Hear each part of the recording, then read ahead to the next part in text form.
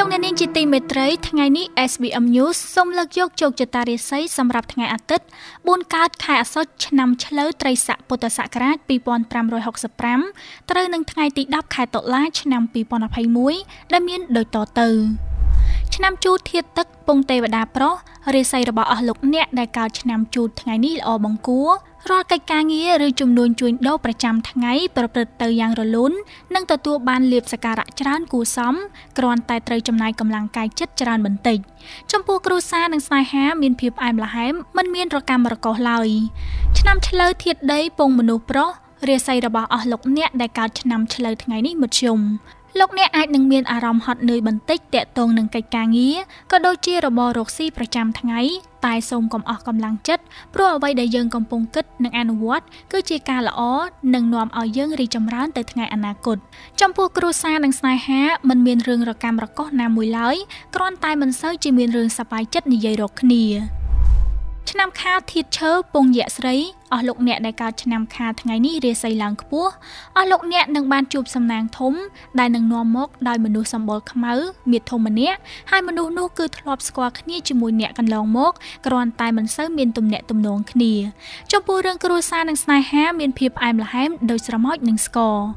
ឆ្នាំថោះធាតឈើពងមនុស្សស្រីអស់លោកអ្នកដែលកើតឆ្នាំថោះថ្ងៃនេះរាសីធ្លាក់ចុះលោកអ្នកនឹងមានកង្វល់ច្រើនទៅលើរឿងការងាររកស៊ី និងថ្ងៃអនាគតកង្វល់នេះកើតឡើងដោយសារតែអ្នកបាក់ទឹកចិត្តក្នុងការបំពេញភារកិច្ចមិនបានល្អបង្កឲ្យមានការស្ដីបន្ទោសពីចៅហ្វាយនាយចំពោះរឿងគ្រួសារនិងស្នេហាអាចនឹងមានពាក្យប្រកែកមាត់កបន្តិចបន្តួចមិនបង្កជាធំដុំទេ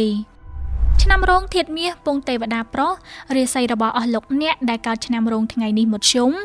លោកអ្នកអាចប្រកបការងាររបររកស៊ីបានដោយទទួលលទ្ធផលល្អគ្រាន់បើគ្រាន់តែហាមទុកចិត្តអ្នកក្បែរខ្លួនដែលមិនមែនជាគ្រួសារប្តីប្រពន្ធខ្លាំងពេកប្រយ័ត្នអស់អង្គច្រកឆ្នាំង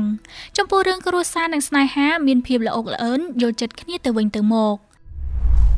ឆ្នាំម្សាញ់ធាតភ្លើងពងមនុស្សប្រុសរាសីរបស់អស់លោកអ្នកដែលកើតឆ្នាំម្សាញ់ល្អបង្គួរត្បិតតែថ្ងៃនេះអស់លោកអ្នកមានអារម្មណ៍ថាហត់នឿយបន្តិចប៉ុន្តែលទ្ធផលការងារនិងការរកស៊ីរបស់អ្នកគឺទទួលបានយ៉ាងជាទីគាប់ចិត្តរាល់ការដើរហើរធ្វើដំណើរទៅទីជិតឆ្ងាយប្រកបតែសវត្ថភាព ចំពោះរឿងគ្រួសារនិងស្នេហា មានភាពផ្អែមល្ហែមនិងកាន់តែយល់ចិត្តគ្នា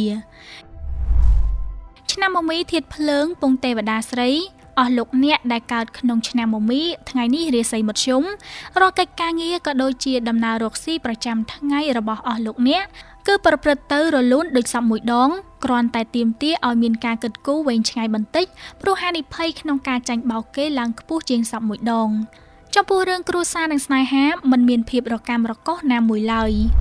ឆ្នាំមមេធាតមាសពងទេវតាស្រីថ្ងៃនេះលោកអ្នកដែលកើតឆ្នាំមមេរាសីល្អបង្គួរ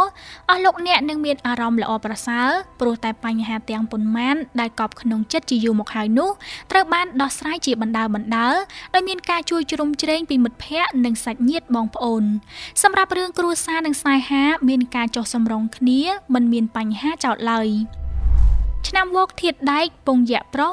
លោកអ្នកដែលកើតឆ្នាំវោករាសីឡើងខ្ពស់លោកអ្នកនឹងទទួលបានឱកាសថ្មី ទាំងការងារនិងរបររកស៊ីដោយសារតែមានជំនួយពីមនុស្សជិតខ្លួន បញ្ហាទាំងប៉ុន្មាននឹងត្រូវដោះស្រាយជាអន្លើទៅតាមបែបផែននៃរបៀបរបស់អ្នកចំពោះរឿងគ្រួសារនិងស្នេហាមានភាពផ្អែមល្ហែមត្រជាក់ត្រជុំដោយទាំងអង្គបំពង់ខ្ចីឆ្នាំរកាធាតដែកពងយៈប្រុស អស់លោកអ្នកដែលកើតឆ្នាំរកាថ្ងៃនេះរាសីឡើងខ្ពស់ត្រដែតលោកអ្នកនឹងទទួលបានពាក្យពោលសរសើរឬរង្វាន់លើកទឹកចិត្តពីចៅហ្វាយនាយបើជាអ្នករកស៊ីនឹងមានអតិថិជនឬលុយកាក់ហូរចូលដូចទឹកចំពោះរឿងគ្រួសារនិងស្នេហាមានតែភាពផ្អែមល្ហែមល្អកល្អឿនហើយយល់ចិត្តគ្នាកាន់តែខ្លាំងឡើង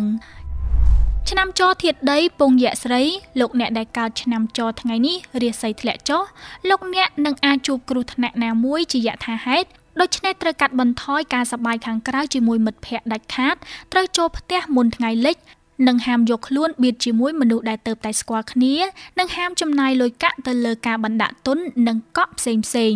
សម្រាប់រឿងគ្រួសារនិងស្នេហាមិនមានបញ្ហារកម្មរកុសឡើយ ឆ្នាំកុលធាតុទឹកពងមនុស្សស្រីរាសីរបស់លោកអ្នកដែលកើតឆ្នាំកុលថ្ងៃនេះឡើងខ្ពស់លោកអ្នកនឹងទទួលបានរង្វាន់លាភសក្ការៈជាឱកាសថ្មីនៅក្នុងវិស័យថ្មី តាមរយៈការណែនាំពីមនុស្សក្បែរខ្លួនបើជាអ្នករកស៊ីនឹងទទួលបានទំនុកចិត្តពីដៃគូនិងអតិថិជន